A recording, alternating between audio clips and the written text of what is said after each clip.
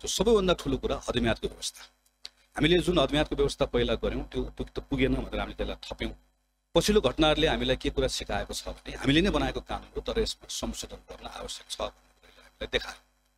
जुन समय अवधि हामीले तोकेका छौँ जसरी ट्रमाटाइज भएको हुन्छ भिक्टिम त्यो समय अवधिभित्र त्यो सम्भव हुँदै हुँदैन। थुप्रै घटनाहरू हामीले हेरिसक्यौँ।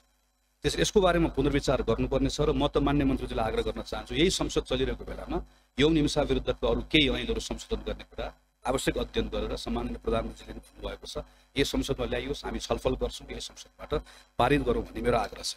सामान राम्रो छ ढुक्क हुनुहोस्। थाहा छ थाहा छ त्यसैले त यही लिन आएको गुणस्तरीय प्लम्बिङको भरपर्दो नाम मार्बल